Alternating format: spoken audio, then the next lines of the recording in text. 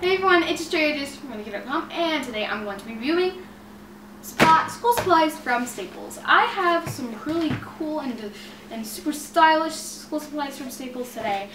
I just saw these beautiful golden um, um, um, ballpoint ballpoint pens and I super like these. These are perfect for school and writing down assignments. I also have some other pens. I have the Papermate Inkjoy pens right here, which all the stuff that I have with me today you can get at Staples. Um, I thought that these were pins, but obviously they're not pins. They have erasers on them.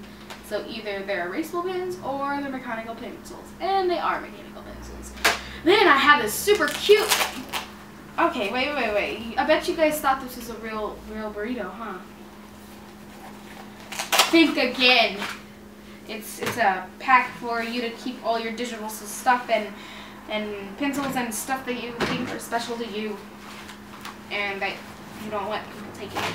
And then we have this super cute book by Five Star and I really, well it's Five Star and I really like it and I, it's big and I can write down stuff easily and see stuff that I write down easily.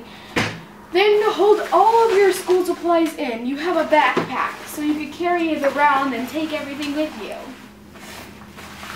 I really do like this backpack because it has flowers on it. Flowers are beautiful.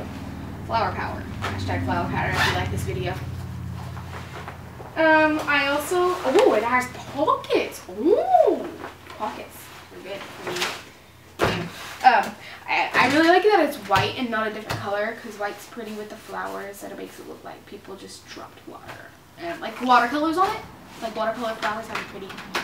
And I would give this two thumbs up. If I had more thumbs, I would give it more. Bye guys. I gotta take this. Bye.